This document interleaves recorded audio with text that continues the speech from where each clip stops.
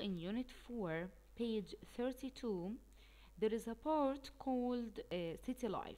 This lesson actually contains new amazing words to be used in our daily life and i'm sure you will you will like it. You will like them so much.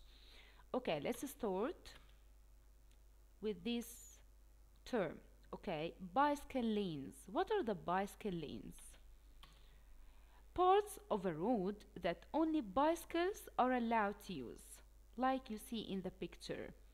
Okay here we have two roads okay one for cars and one for bicycles okay? This road that only bicycles are allowed to use okay uh, is called bicycle lane okay? So again bicycle lanes bicycle lanes okay city dwellers. City dwellers. Uh, people who live in large towns. They are called city dwellers. City dwellers. Okay. Planners. Okay of course come from the uh, word plan. Planners. Planners people whose job is to plan the develop the development of a town they are called planners. Planners. Commuter. Who are the commuters? Commuter of course not the passengers. Okay don't say commuters means passengers. No. Commuter commuters are people who always travel between work and home. Again commuter okay commuter is a person who always travels between his work and his home. He's called commuter.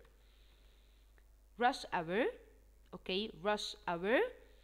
Rush hour when there is a lot of traffic because people are traveling to or from work.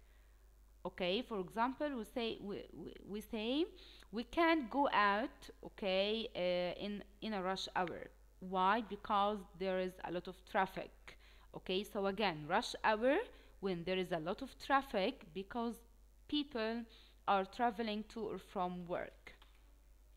Opportunities okay and the singular opportunity. Of course opportunities which means chances situations in which it's possible to do something. Okay? Congested okay this is amazing word. It's an adjective called congested congest again congested okay congested means crowded crowded or full of traffic. Again congested means crowded or full of traffic.